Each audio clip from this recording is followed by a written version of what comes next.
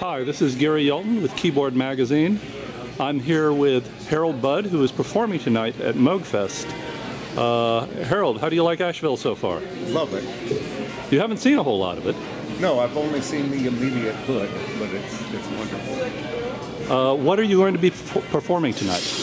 I am going to be performing with Keith Lowe, bass player, good friend, smart guy, and we are we threw a program together.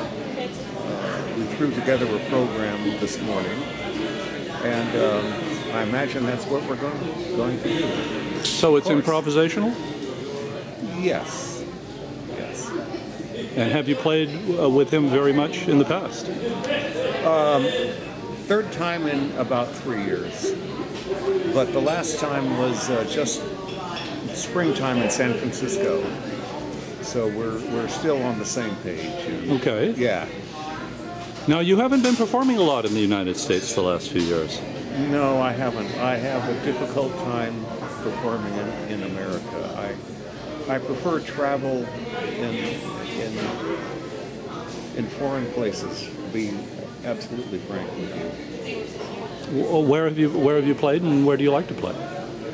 Well, I've played almost in, in all of uh, West, all of Western Europe. I turned down a job in Eastern Europe because it just didn't sound like a place I wanted to see. Okay. I mean, very snotty of me, but that's the way it goes.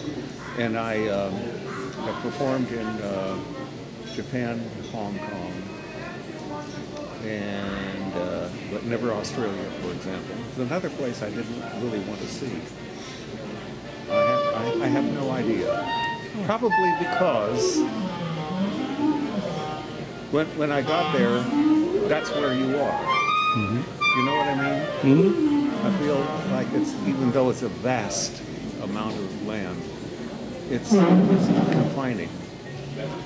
Now, I understand you lived in uh, London for a while. Oh, yes, I did. Yeah. Yes, I did. And I, uh, that was the, um, it's still my favorite city in the world. I, I, I, I am sorry that I'm not there anymore. Ah. Is that when you uh, played with Brian Eno?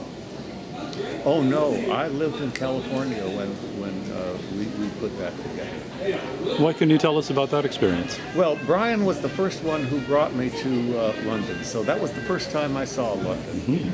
And at the same time, um, let's see, is this the same album? I'm not sure. No, that was 1976. Brian uh, produced the.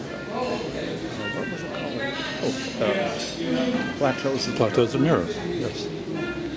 Subsequently, I came back and um, what was the going back quite a few years here? Geary, Mhm, I understand. Excuse me. It was. Um, oh yes, yes, yes. I I, I did. Um, I recorded "Lovely Thunder" Mm-hmm. here in in uh, here in in in Los Angeles A classic album. at at, at uh, uh, in little in the little Tokyo section. There. And I, I came over to, uh, and then at the same time I recorded with the Cocteau Twins, Yes. and that was in London. Okay. And when I came over to uh, publicize those two albums in London, I began to seriously look around the, the neighborhoods. I see. and learning learning how to get around and the, uh, the style of, of living there. Knowing full well that uh, I probably would do nothing about it, but nonsense. Six months later, I I had moved to London forever. Aha. Right? Forever. Absolutely. Now, when you did record with Brian, uh, Yes. did uh, did you learn much from him about recording? Did he I- learn much from you? I, I I can't speak to the latter part, but I owe Brian everything.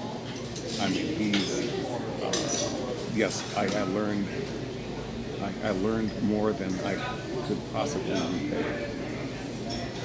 Well, he certainly helped bring you to the world's attention. Yes, he did. He certainly was responsible for that. I'm fully aware of that. I was, um, at the time, I don't want to get too too deep into it, but I was teaching at California Institute of the Arts, and that was a place um, of full of avant-garde musicians and artists and things like that, of a type that I found myself completely rebelling against. And I knew I didn't belong there.